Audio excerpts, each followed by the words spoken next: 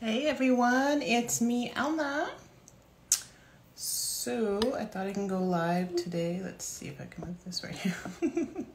you guys can see me.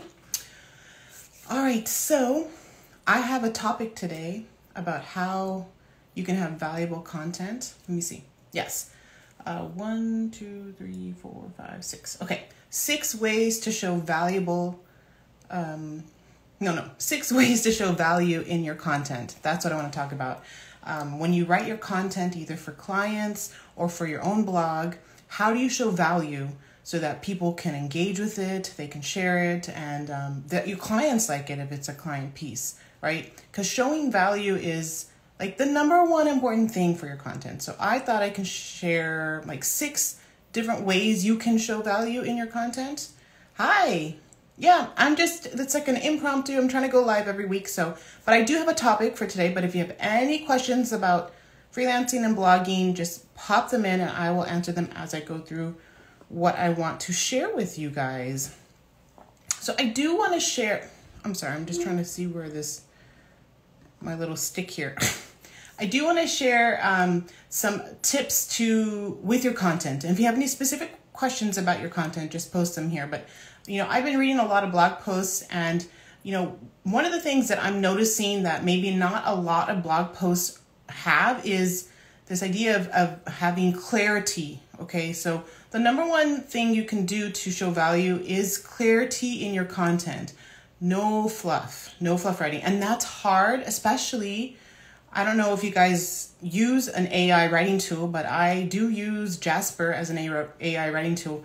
And Jasper is very fluffy. Like he's very not concise with his wordings. so I have to go back and edit my piece to make sure that the main point of whatever that sentence is doesn't have all the fluff words in it, you know. So it's really like tightening up your content, tightening up those sentences so that it is clear to the reader what they are reading. So that's clarity, okay? Having clarity. Um, and then that goes along with the next point that I have. My notes are just over here on my screen. Is to be concise.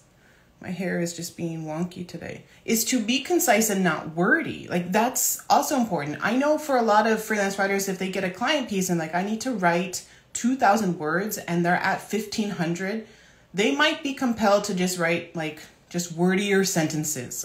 you know, they'll split up their contractions. You know, instead of uh, we're doing this, it's we are to add that extra word. Like, I wouldn't go so far as to do things like that, especially for a client piece. You know, if you aren't hitting the mark at 2,000 words, you need to look at how deep you're going in with your content and see if you can add another section to your subtopics or add a new subtopic. Because obviously, you're not hitting the mark. The client wants 2,000 words, but you're not writing that, which means you're missing the mark in some way. Oh, hey, I need help making my posts longer without a lot of fluff. Yes, I've been thinking of trying Jasper lately. I feel like for ad revenue, longer posts do better. Yes, definitely. There's two things going on here with perfectly stylish cuts. Uh, longer posts are better for ranking potential and for monetization purposes, right? Because when you think of longer post, it it fleshes out everything that the person wants to know. You're answering as many questions as possible. You're doing all that you can so that it is converting. Um, with Jasper, Jasper can definitely help, and I've been doing that. I've been doing that a lot for Smart Mom Ideas, a little bit with Twins Mommy, but not much. And I don't touch it for my Elna Cain site because it is a high ranking site. So I'm not going to touch my high ranking sites. I am using it for my niche site, mostly for my niche site. But what I have to do is because Jasper is very wordy, I have to go back and just um, chop a lot of the words out. like chop a lot of the beginning parts of the sentences and stuff. You know, only find like the the really uh, valuable part that that that Jasper is writing. So it does help you. What I like about Jasper is that it helps you with product descriptions. I hate writing to product descriptions. So if it can, if I can plug in, you know, a game and some features, and it gives me a nice sentence or paragraph, I'm going to use that. I'm going to look through it. I'm going to put my keyword in there and I'm going to swap it out and add whatever my topic is.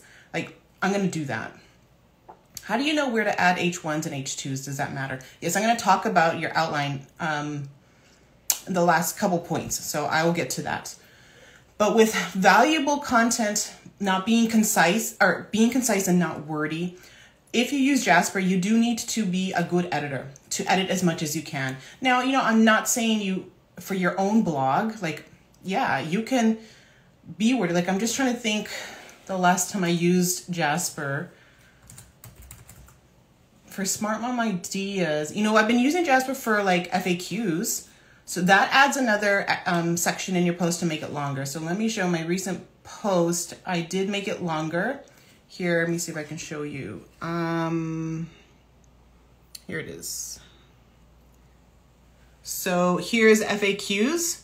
So you can see I added, uh, Jasper came up, I added some of the questions and Jasper um, helped because it was pulling questions from the post already. So I added like that question I added and then Jasper added that question and that question. And then this is what it wrote. Like a lot of it is Jasper written right here. So, you know, there is no definitive answer to this question as every person experiences with pregnancy can be different. You know, some women may start feeling tired. That's very wordy, but for an SMI post and at the end of this post, I'm okay with that. I'm okay with that. I would not give this to a client. I would not give the, like, this is too wordy.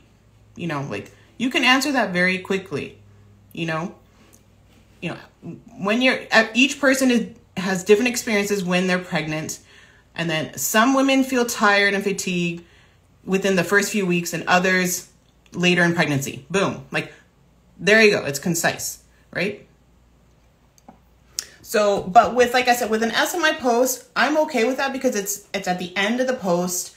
I'm doing this for ranking purposes, and you know, it's adding another 500 words to my content to make it a 2000 word blog post. So adding something like an FAQs using Jasper can really help. Uh, let me see. Hey guys, thanks for joining me. I'm just talking about how to add value to your content. And um, there was a question about adding, making it more longer, like how to add value when it when you want it long form.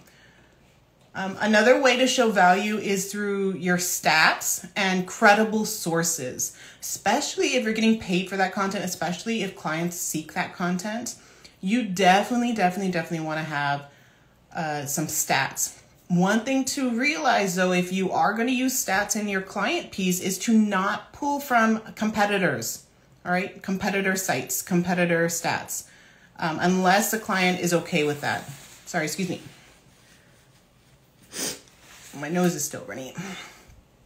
So I would be careful with that. You know, if I'm writing a post for um, smart, for, like for Smart Blogger, I'm not gonna uh, link to an OptinMonster uh, stat because they're trying to compete with OptinMonster, right? Like, so I'm not gonna do that. I'm going to pull from other sources that aren't ranking for what I'm writing about, basically. All right, perfectly stylish cuts. In my case, I have a craft blog. Yes, I remember. And I share new crafts all the time. Yes, I'm so torn on how to write a long post for each new design. I'm sure if that makes sense. No, you know, I realize that. You have to also realize the um, the type of medium you're providing. With a craft post, videos are supposed are probably your best bet. It doesn't have to be long form.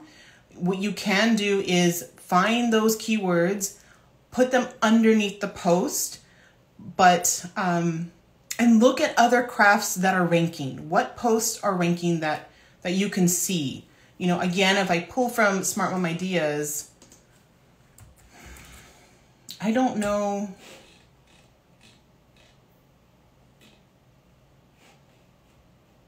Let me, I did some coloring pages.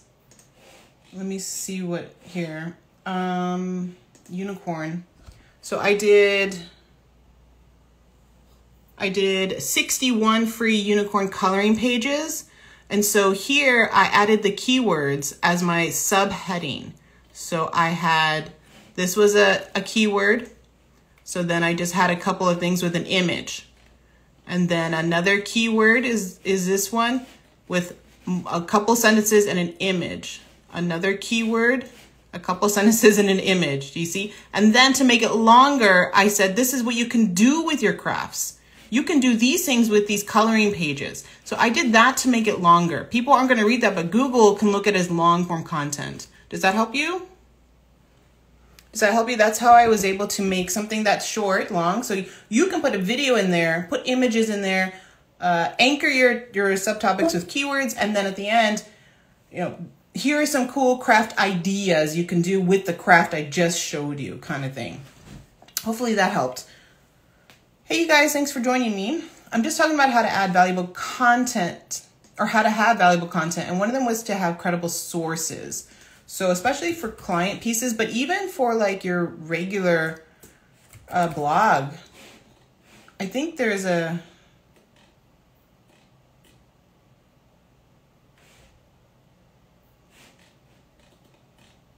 sorry, I think I had a stat in one of these like uh, regular blog posts here. Now I can't find it.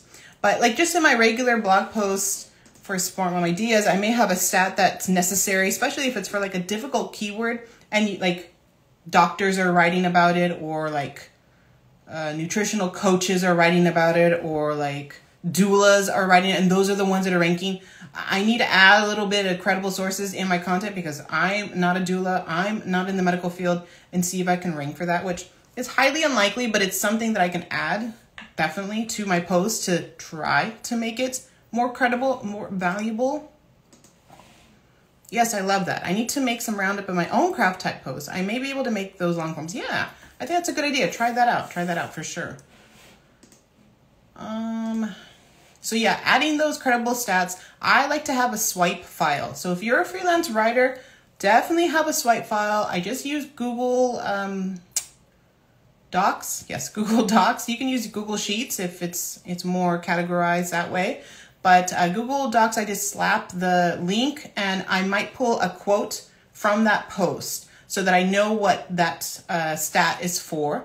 And then I will go in my post and then see if I can use that quote or go to the post, the link, and see if I can use something else. Um, so that seems to work and it makes my writing go much faster when I have a swipe file, definitely. So make sure to show credible stats and sources. Um, and then demonstrating your knowledge of the topic can show value. So I know we are all writing about things that, you know, to rank, especially like for smart mom ideas, you know, like I I can only do so much with the content that I'm writing. I do have writers that uh, write for that content and, you know, they're not doctors, but they're writing about pregnancy stuff. So it's not that hard to write about something you are not that familiar with but you do need to demonstrate in one in some capacity that you are familiar with that and you can do that with the words that you use right if there's a certain language around email marketing using those words you know segmenting um, the the money is in the list is another thing you know like there are certain phrases in email marketing uh, that you your open rate click through rate things like that that if you're not familiar with and you don't have them in your post, it's not going to show that you are knowledgeable of that topic. Same thing with the keto diet or same thing with certain other topics. You need to know the language that people are using and use that in your content.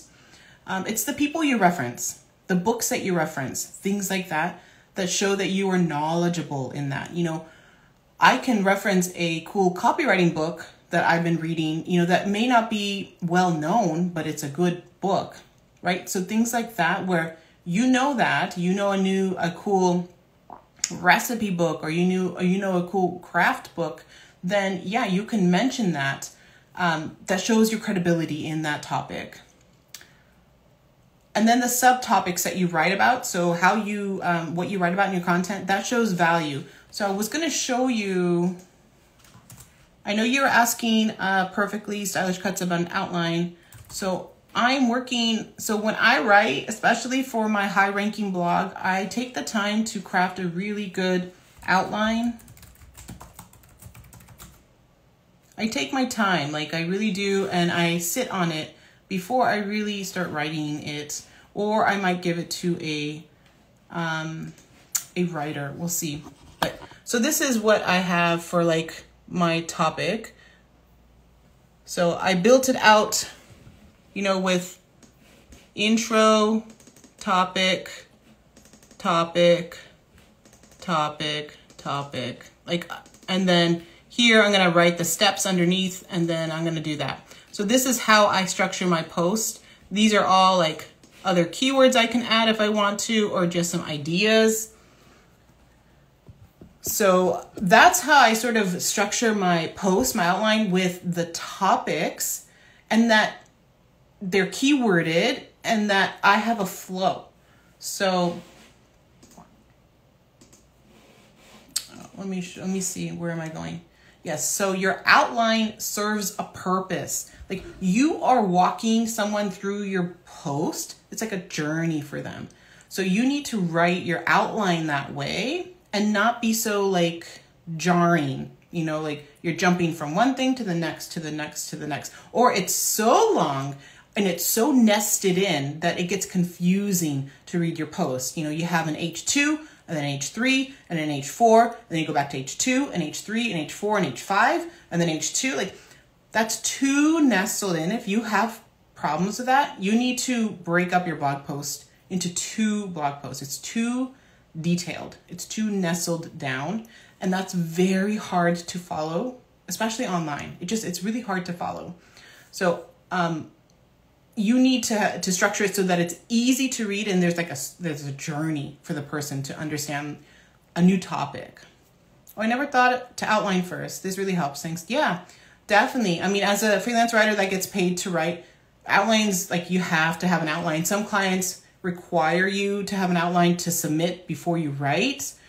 Um, so it's key to have an outline, um, and it gives me structure. Like I know where I'm gonna flow and put my writing. Like I wanted to talk about copywriting jobs, but I'm going to do that at like at the end after they know what copywriting is, after they realize what the potential is for copywriting, when they have examples of copywriting, when I have the steps to become a copywriter. Okay, now I'm going to show you how you can find some jobs. Like I'm sort of like structuring my outline, and as I'm writing, I might change it. I might move copywriting jobs up.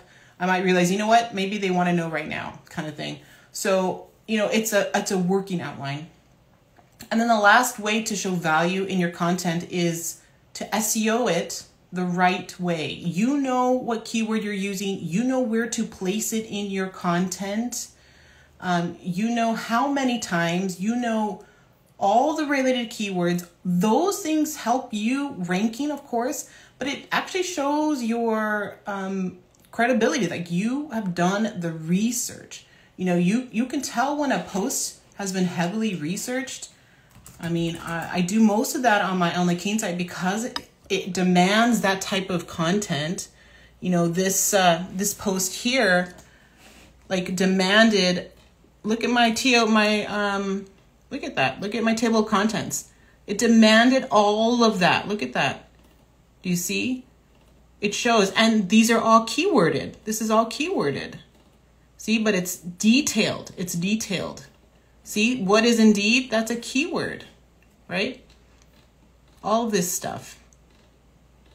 Keep going, and then we go to the next one. So something like this, of course, I could get paid for that as for a client piece. Like, oh, I'd get paid probably over a thousand dollars for that. Um, but I wrote it for my own blog um, to help me with ranking. Now, I don't know if I'll ever rank for the key term because it's like the most competitive keyword ever on the planet. But I wrote it anyways because I know I will find some. Google is going to slap me somewhere, like with the keywords that I mentioned in here, and it will slap me with something that's less competitive, I'm sure. And maybe over time, maybe, maybe in two years, I can rank for that. Maybe. How do you make a table of contents like that in your post? I love the table. Um, my husband coded that, but there are plugins that you can do uh, like a TOC, just go to WordPress and, and type in TOC plugin and you'll find some. I'm sure there are ones. I know um, other bloggers use like a plugin. Uh, we just code ours because my husband doesn't really like plugins because plugins slow your site, your like it slows your site down. So we try to to customize as much as we can, but there are definitely plugins. Um, I think there's one even that you could have one scroll on like the sidebar. That's really nice. If you can have it scroll on the sidebar, I would get a plugin like that. I think there's some plugins like that. Hey, you guys, thanks for joining me. I'm just talking about like how to show value in your content, and I'm sh- showing you like the SEO part of it. Now, if you ever need help, I do have lots of resources for you guys. If you're on the blogging side, you know, Ready Set Blog for Traffic has the most up to date SEO module there is for bloggers, definitely for bloggers, um, as well as Pinterest module that's fairly up to date, um, and then a content module. So if you're a blogger, go to twinsmommy.com, go to courses, it's ready set blog for traffic. If you are a freelance writer, I do have freelance blogging in a weekend. And that has a really detailed SEO module for writers that want to get paid for that type of service. Um, so I am adding lots of new uh, lessons. I added a module about viral blog posts, how to write viral content for your own blog. And if clients want viral content, um, because that, that that's a different way, that's a different outline, that's a different process for sure for finding content ideas for vi- uh, viral posts. And so I've been playing around with that as well. So, you guys, thanks for joining me. I think those are all the topics we did uh, outline, SEO, keywords, uh, knowledge of the topic, credible sources, it's concise and not wordy, and it has clarity. I would love to keep seeing more Jasper video, by the way. Yeah, I just signed up and I'm going to use it an affiliate for post. Yes. Well, twins, the Twins Mommy YouTube channel has two Jasper posts or videos, two Jasper videos. So check those out. Um, and then I will. I want to do some more Jasper content and I might put it in Ready Set Blog for Traffic. I actually don't have a, a lesson on how to use Jasper. So I might do like a deep dive on that um, as well. And um, I know Jasper integrates with Surfer SEO, which I haven't used, but I've been seeing a lot of YouTubers talk about it. So I think I'm going to sign up for Surfer SEO. Is it Surfer SEO? And see how I can work that with Jasper. I think that would be a nice addition. So I might do that and then do a video on that on my channel, on the Twins Mommy channel. I have your course, of course. That's great. Yeah.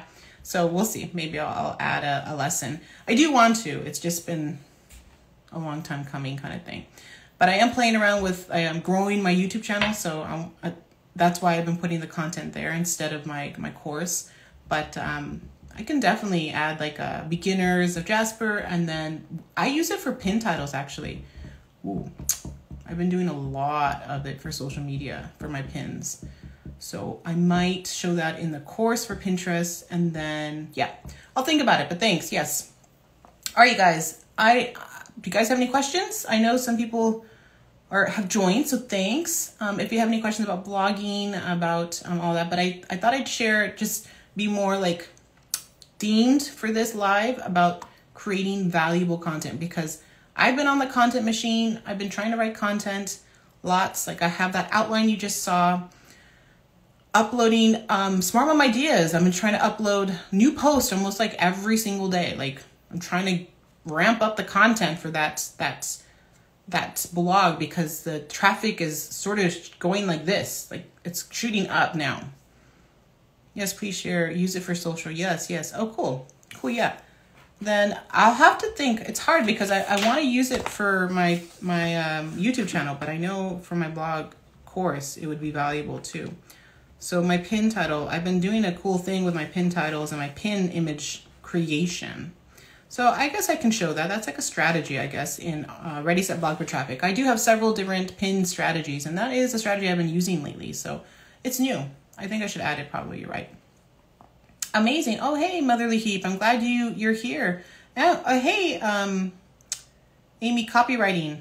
If you just joined. Yeah, I've been uh, just talking about adding value to your content and how you can do that, especially if you want to get paid for your clients. How do you demonstrate value?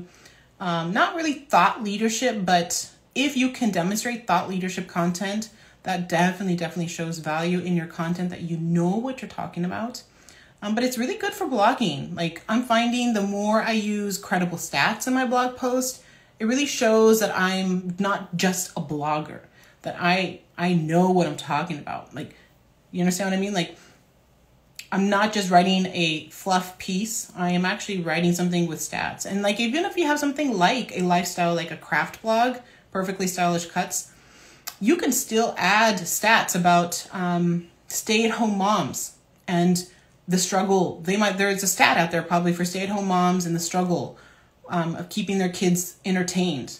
Definitely, right? You can pull some stats in to make it credible so to people believe you and they want to trust you that you know what you're talking about, right? And if you add that in the introduction and then go in like, look, you know, I have these awesome crafts that keep my kids entertained for hours.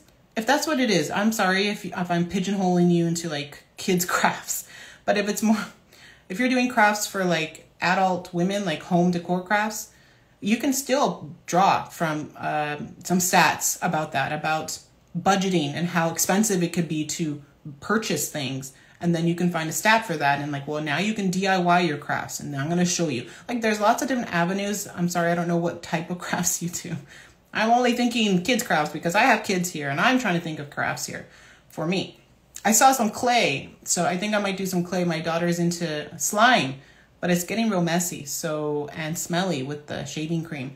So i think um i'm gonna try and get her to do clay instead. Um but that's another story.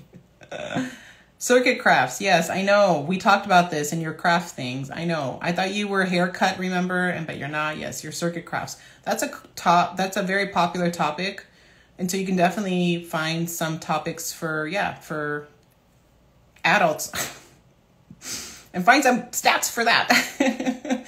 um, I'm sure you could. I mean, it's, yeah. But anyways, yes, so I showed all that stuff. Uh, yes, thanks for joining me, you guys. Um, I'm here for a few minutes if you guys have any questions about content, about writing. Um, I'm a lot better, as you can tell. I'm not as sick. My son is sick, so he's at at home. My daughter's at school.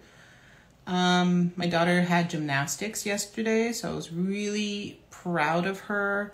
Her friends didn't make it, um, but they're also in the group, but they didn't make it yesterday. So she was there all by herself with some new girls and she integrated very nicely. So I'm really happy with that. Although I had a lot of struggles this morning.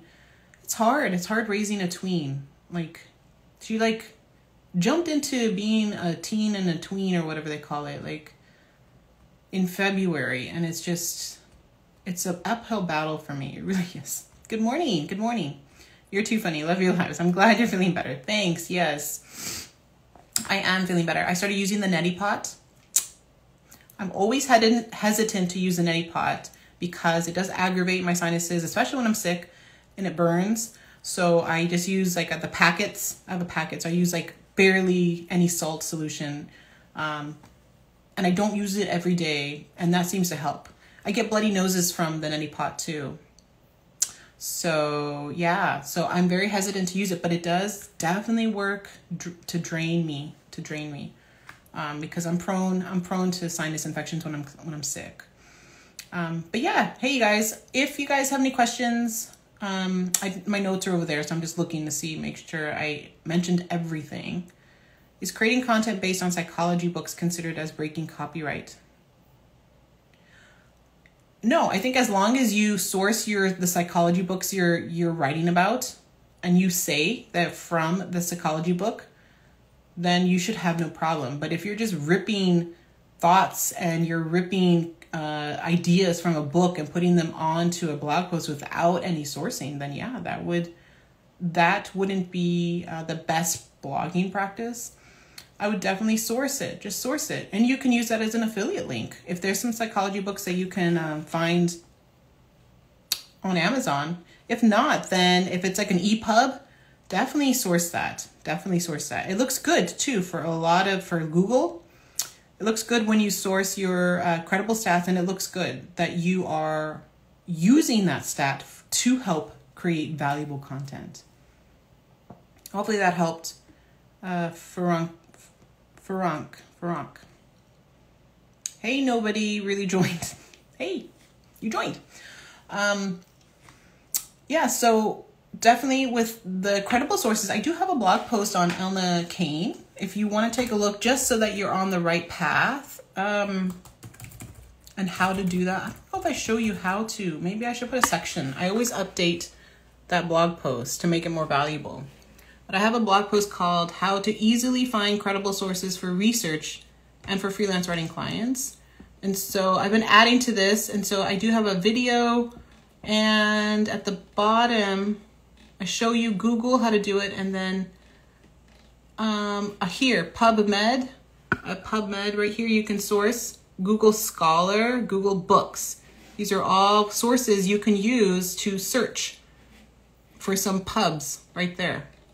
And here's lots more right there, all of these, right? Those are places you can grab uh, journal articles. Here's a database, all right? And here's some for digital marketing. Here's some journals for digital marketing. Right, so I have a lot here. So make sure you check that out. Um, just go to elnacain.com and type in credible sources or research or something. Probably credible source would be where you would find the blog post. Hopefully that helped. Um, but yeah, it's important, especially if you are doing this for clients. Um, but it works for your own piece too. It really does. It adds a level of um, authority to your content when you can source things like that. It makes you almost look like a journalist. Um, and Google likes that when you can sort things, uh, cite things. Um, because they have quality raters that come to your site and they, they look for these markers. They don't want to rank content that from a person that isn't credible, right? That's expertise, authority, and trust. That's the EAT factor that I do share a lot in Ready Set Blog for Traffic about having that really solid EAT factor. When I look at something like Smart Mom Ideas, my content for recipes rank, my content for pregnancy ranks, my content for uh, kid stuff ranks. So for lifestyle content, the EAT factor isn't that heavy, right? The EAT factor is only for your life, your money, like really like like health, finance, personal finance, cryptocurrency, um, and even like jobs, like my thing is a YMYL. But like a lifestyle, pregnancy can be, but I am finding uh, keywords that I can rank for with the pregnancy content. Um, but like kid content, craft content, like crafts, um, you don't need a strong EAT. You just need good keywords, right? That's all you need. Hey guys, thanks for joining me. If you have any questions about content, just pop them in. Hey, thank thanks, Finest Quill. Thanks for joining me. yeah, I just went through valuable content, how to demonstrate valuable content. I've already done that. So make sure to check the live when it's published. But I'm just taking any kind of questions that you guys have about content, about writing, uh, blogging. I'm going to think about doing a lesson in Ready Set Blog for Traffic about creating pin titles and my my new pinning, like what I'm doing for pinning right now is different. So I can demonstrate that in a lesson in Ready Set Blog for Traffic.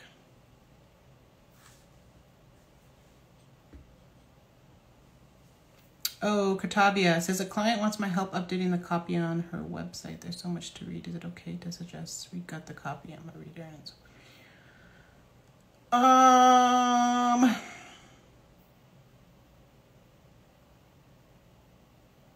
Well, is that a service you're offering?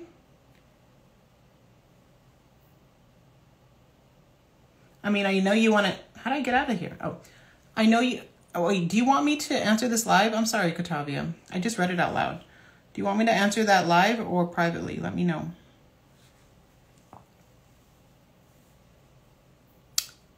I didn't know you can ask a question that way. I this is all new to me. So yes, please which one? Live?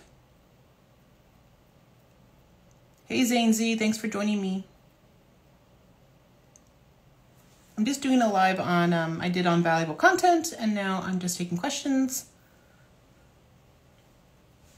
I'm assuming it's live. So, she's a bridal MUA and esthetician. If you're looking at her copy and you're like, you know what, it's just not going to work, I mean, I, I would present it to her in a nice way saying that I looked over your copy and see if you can salvage some things, even if it's like the flow of the of the of the page if that's what she wants to demonstrate even if you can keep something like that or you can demonstrate a mock copy of like this is what I feel would do better for your business for optimize optimizing your conversions. Yeah. I mean when you when she wants updated copy ask her, is it okay? Um, like when you say updated, do you mean like if I have to do a total revamp? Are you okay with a total revamp? Like call it a revamp and see what she says. If she's like, no, you know, uh, for updating, I just wanted you to update certain parts of it, you'll get a feel exactly. But if she's open to like a, a like a total wipe, revamp, new slate, like mention those words and see what she says. If she's not open to that, you need to work with what she's given you. If you want to keep that client and if you want her to be happy, right? You can you can if she's like I just want this and this, you can tell her, "Look, look, I will do it for you, but just realize that my recommendations are this, this and this and it and you're telling me you're not going to go with my recommendations." So I am showing you this is what I think um basically like um, what's the word? Protecting yourself right? Protecting yourself so that they don't come back to you and say look i hired you and now i'm not ranking and yada yada yada. Well you didn't follow my suggestions. I emailed them to you. I have it written out for you and you decided to do this. Like you have a formal report. Like yeah so definitely. I would definitely do something like that. So it's the wording that you use and just be clear on her expectations. If she's okay with that some people aren't. Some people aren't. I hired a um, a couple years ago. I hired a copywriter to look over my emails, my email funnel, and so um, it's Erin, Erin uh, Pennings, who's a course a Write to One K course student. Actually, she's doing really well with copywriting. I think she's hiring junior copywriters now, so she's she's really good. Um, so I hired her to look through my stuff, and she did a really good job um, providing support. You know, like I said I need help with um, the emails and any suggestions that you have for for the funnel. And so she was able to offer me suggestions and be and I was open to that, right? So and she was really good at providing feedback and providing like what we demonstrated. So I think that's important. I think um, having those markers in your conversation with a client really helps. Thank you. Another question. As a beginner, is it better to start creating content on a platform like Medium and be seen as a personal platform? Um, well, it depends what your goal is. You know, Medium is a nice way to show your content if you want to do paid writing, right? If you want to do freelance writing, you can use it as a portfolio, only as like a portfolio. But I strong me personally, I just believe that a writer website shows a professional touch. Um, it's not 100% necessary. There are highly successful writers that have no writer website. They are not on social media. And then kudos to them. Kudos to them. My strategy is different. My strategy is I want you to get out there. I want you to be known. I want you, I want people to to know who you are. Like you can find work that way much easier. I want you to be on LinkedIn. I want you to connect with people. You know, like I want you to have a, a write a website. I want you to be in different places. Have a medium profile. Have a uh, contently profile. Get in all these places. Be out there, right? Because it's a, like blitzing the internet because that's easier to get known. It's faster to find clients that way. And it's building up your brand, right?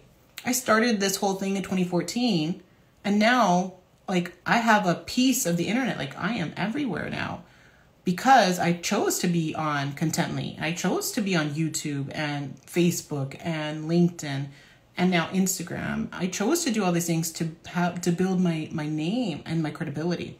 But as a beginner, you can definitely start on Medium. Start on Medium and then you can add a writer website or you can add a Contently portfolio, right? Like try that and see. You were wondering that. Oh, good, simply Alexandra. Another question from Katrolia. I feel a copywriter coach would be beneficial to me, my business. Any suggestions on this? Um, I don't know. Like, talk to Erin, Erin Pennings, um, and see if she is taking any junior copywriters because she was, but she might have um another resource, another copywriter that she knows that's taking someone. Because you definitely want to be a junior copywriter that's under someone, not not necessarily a, a copywriter coach, but a junior copywriter so that you get work and feedback. Um, definitely. Hey, you guys, thanks. Um, yeah, I would do that. And I'm gonna put that in my post too, like um, in my copywriter post. I do have like a junior copywriter section because I think that's the route to go instead of going through the coaching work under someone, work under a senior copywriter, junior copywriter, like like what chefs do, right? Like the sous chef and all that. That's the structure for copywriters. I'm finding, you know, for freelance writing, it's a little bit different. You can have a freelance writing coach, but um, because there's no like senior freelance writer, like I, I, I don't think so. Um, and it's worked for me, you know, like I did have coaching for a while, but that I I stopped that once I had my course and now I'm, I'm helping people with like as a as a as a um a teacher i guess as a teacher but try erin pennings i mean just type her in in google erin pennings copywriter and you can go to her site but if you're are you in the group are you a Write to 1k student Kurtavia, or not are you are you ready set blog for traffic student um yeah because if you're in the Write to 1k you can definitely just tag her and find her there all right, guys, I'm going to get going. It's um, an early morning. I'm going to do my emails. Um, but thanks for joining me. Thanks for asking the questions. And I hope you found some good tips with uh, showing value in your content because that's key. It's key to ranking, it's key to making money with your content. It, there's a lot of benefits to having value in your content so that you grow as a blogger or as a freelancer. All right, you guys, have a good day.